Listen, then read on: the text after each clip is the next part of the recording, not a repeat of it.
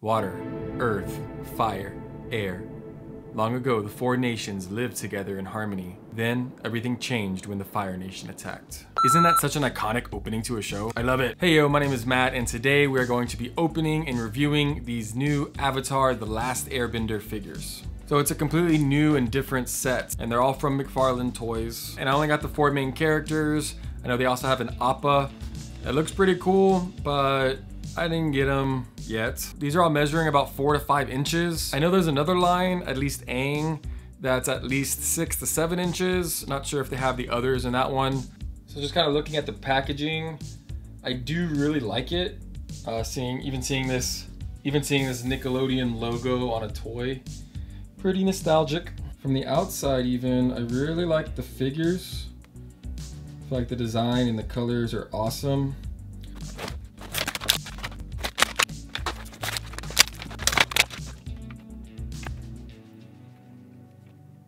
The gang's all here. I was trying really hard to get Aang to stand, but I couldn't do it.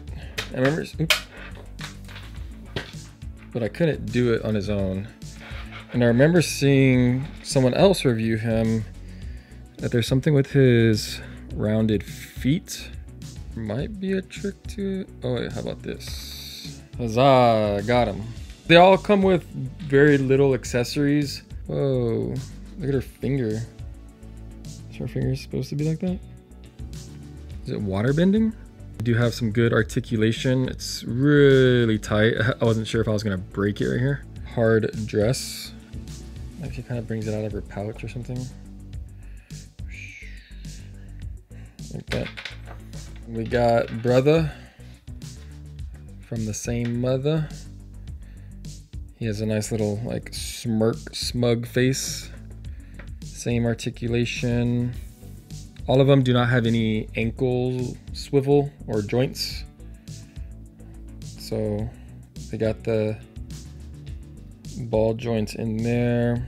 His one accessory was the boomerang, which is also also his uh, boomerang holder. I can see some good good pose with this. Challenging our next guy is uh, Zuko. Prince Zuko or King. We got like these fire daggers. I do prefer his later in the series hair, not this one, like after he cuts it off and he starts becoming good. Oh, spoiler. His boots are sharp. Once again, no ankle joints. And I do like his outfit. It feels really stiff, like everything's really stiff, but it looks cool. Like I really like the detail.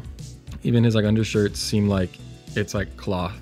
And lastly, we have the Avatar himself, Aang, the last airbender. His one accessory is his staff, which feels kind of flimsy considering how hard plastic everything else is. This is pretty soft and almost on all these guys the paint is really good. Like the eyes are cool. All right, real, real quick with him, I want to compare him to the Diamond Select one that I got a while ago. And at least this one can stand on his own feet, right? This quality is way better. And so just to compare it to that Hasbro Black Series, which I feel like that's a good height for like Aang. Like with Sokka, I can imagine him a little taller. Like assuming this guy's like like assuming the trooper is like six feet. And Zuko. Oops.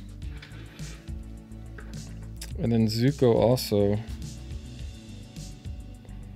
Zuko's almost there. I guess I imagine him a little bit taller. Of course, the comparison would not be complete without Charizard, which is pretty fitting for Zuko. Like for sure, he would have a Charizard, right? That's pretty good. I like that, that scale. So for 10 bucks, I really like the quality. I can already imagine like a handful of individual shoots with them as well as like some cool combo shots. Make sure you follow my Instagram, TikTok page at Amusing King for both of them and uh, see if you see any of these guys on there. I'll catch you in the next one. Peace.